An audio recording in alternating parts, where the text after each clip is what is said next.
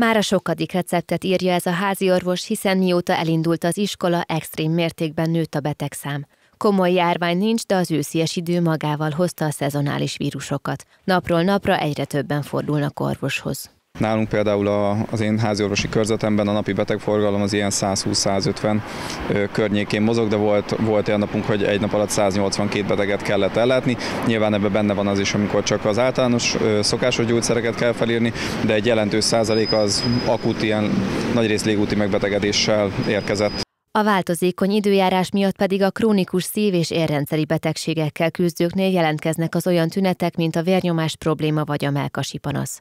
Emelkedett a covidos fertőzöttek száma is, de emellett körülbelül 200 féle olyan vírus van, amely különféle légúti tüneteket okozhat felső légúti megbetegedéssel, amelyeknek a nagy része, tehát ilyen 80-90 százalék a vírusos, ormeléküreggyulladások, garadgyulladás, légcső, légcsőgyulladások, tehát ezek a szokásos ilyen őszi vírusos megbetegedések, ami a nagy részét kiteszi.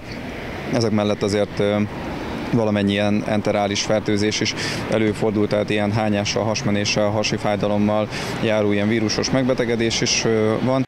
Bár a betegségek elkerülésére százszázalékos megoldás nincs, a legfontosabb, amit tehetünk, az immunrendszer karbantartása.